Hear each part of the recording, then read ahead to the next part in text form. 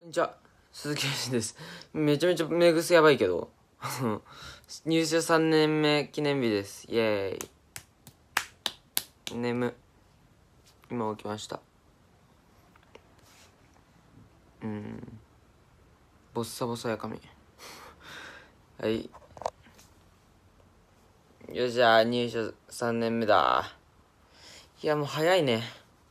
でもだって2年目のさ、動画撮ったのがもうだってめちゃめちゃ覚えてるもんだって。ね。だからもうねどんどんねいろんなこと挑戦してね皆さんをねちょっと驚かしたいと思います。頑張ります。じゃあバイバイ。